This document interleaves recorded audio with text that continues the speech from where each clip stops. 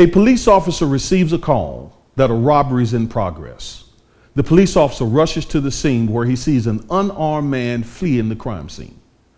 Yet he pulls out his service revolver, shoots the man in the back, killing him.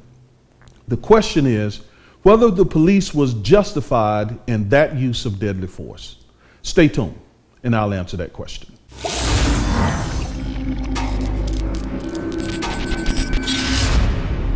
Hello, I'm attorney Augustus Corbett of the Corbett Law Firm. I practice personal injury and criminal defense law here in the state of Texas. The question before us today is whether or not a police officer can use deadly force to stop a, an unarmed fleeing felon from escaping a crime scene. And that question has arisen because of the killing in Ferguson, Missouri of Michael Brown. And so it's being hotly debated right now.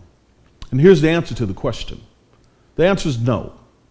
A police officer who sees an unarmed fleeing felon trying to escape a crime scene may not use deadly force unless the officer has probable cause to believe that that unarmed felon poses a significant threat of death or serious physical injury to the officer or to others.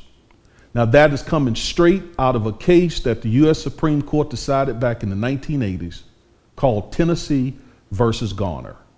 Again, the U.S. Supreme Court said a police officer is not justified in the use of deadly force to stop an unarmed felon from fleeing unless that unarmed felon poses a significant threat of death or serious physical injury to the police officer or to others.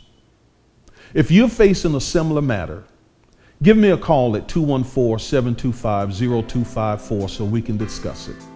You can also reach me at www.corbettfirm.com. Thank you.